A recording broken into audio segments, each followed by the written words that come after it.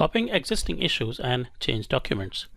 So there are times wherein the organization or the project manager may have hundreds of issues and every time you create an issue it will take some time so you can always leverage the existing issues as a project manager or existing change documents and reuse them by simply copying them with a couple of clicks so this will save you considerable amount of time and after you've copied from the source document you can update the changes and then carry it on further in the process.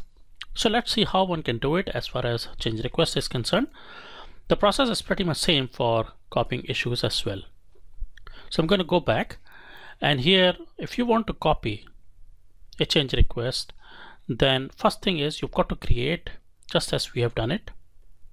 So in this case we have chosen a change request and created from here previously. So let's create a new one. And once you have created the change request within the header itself you have something called as copy from. So if you want to copy from an issue or a change request or a change order you can do that. Because all these three different kinds comes under change management. So let's say I want to copy it from change request I don't know whether it allows us to copy from a draft. So it does. Look at that. It's got draft status but it is still allowing us to copy. So click on the one and hit the copy button and then the entire change request will be copied to the new one over here. So let's change this to instead of iExpenses let's change it to something else. Let's say client change request for ASCP implementation. And then similarly you can come down and you may want to update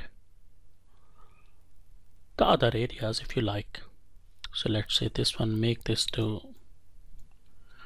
30 change the price to let's say two million dollar.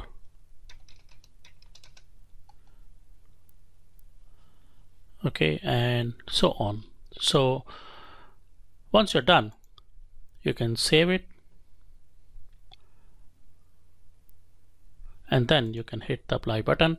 And if you go back to the dashboard then this time there would be two change requests. So that's how you go about copying and recreating a change request